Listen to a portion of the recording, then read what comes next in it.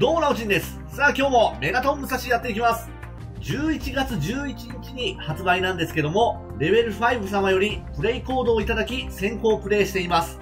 さあ、それではまた少し、えー、進んできましたね。ちょっとね、武器のいいやつを手に入れたんだよね。それがこれ、ドリルクラッシャー。やっぱ手にこうドリルを持ってると結構かっこいいよね。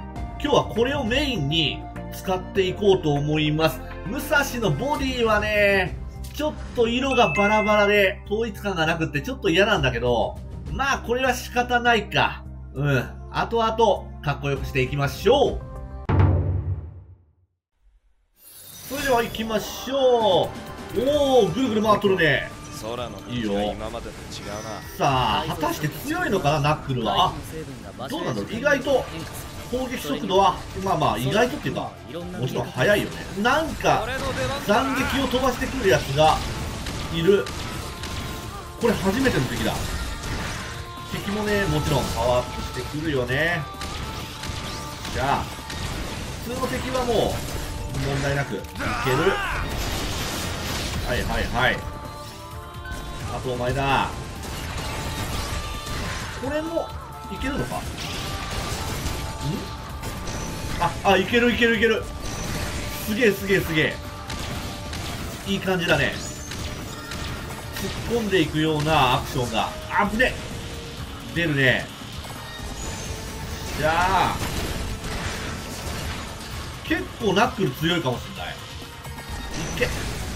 おお飛ばすなメガトンパンチうん。やっぱナックルでメガトンパンチは似合いますね。いくぞこれ必殺技をね、多分連発できるようなスキルが後々絶対出るよね、これ。早めに取りたい、そういうの。あぶねおーお食らってるじゃん。でもまだね、ちょっとこの武器に慣れてないから、どうしても火ダメがあるな。なんか来た。はい、メガトンパンチあれ？全然、ためが少なかったか？よし。終わり。終わり。なかなか、攻撃をしてきますな。よし。意外とね、これ難しいっちゃ難しいよね。簡単にクリアができていくかなと思いきや、そうでもないんだよね。難易度はそこそこ、そ、うん、でもまあ、まだ最初の頃だから、やられるっていうことはね、ほぼないけど、絶対後々難しくなってくると思う。うん、最初がこの感じならね。何？なんか、え？おー、危ねえ。なんか変だぞ、こいつら。なんだ？おっしゃおおッケーなんかフィールドを張ってたね。危ねえ。全員。ライあと1体。あいって。いけ。新技。ああなるほど。範囲攻撃だな。オッケー次がこっちか。範囲攻撃。あれちょっと使っていこう。どこだ？はいはい。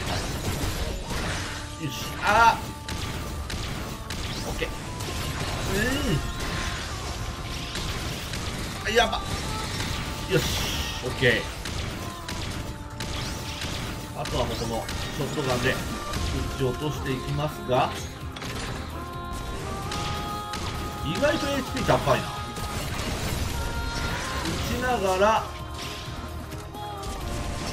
よし。近接も織り交ぜていきましょう。よっしゃ倒したよ。ボスか？ボスだね。ああこれ砲台のでかいやつか。いいね。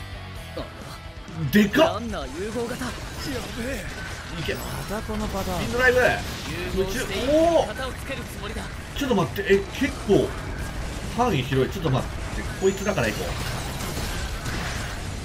う。おい、やるな。ああ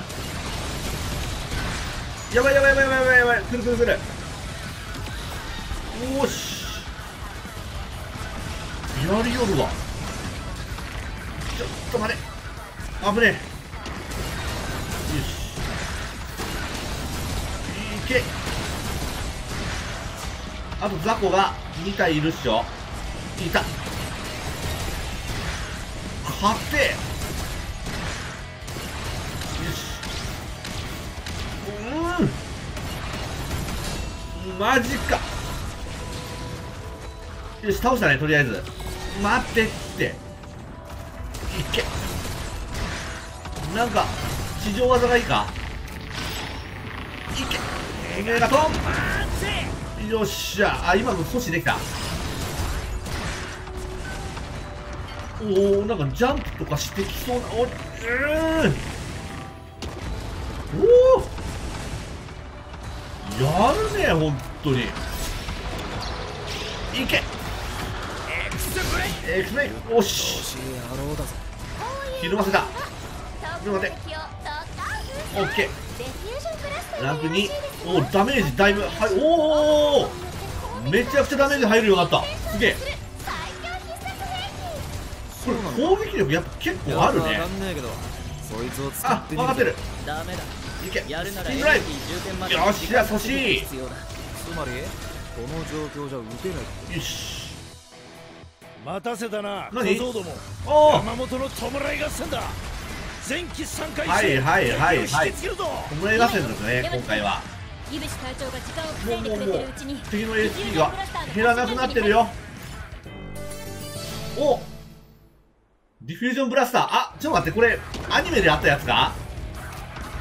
行くぞ。しゃあおおおお強いでこれ方向をビーって横にこうずらしていったりとかも後々できたりするのかな？思い知ったかクソ異星人！いや新技ができた。でもそうねめちゃくちゃ威力があるってわけではなかったね。レベル上げればわからんけどね。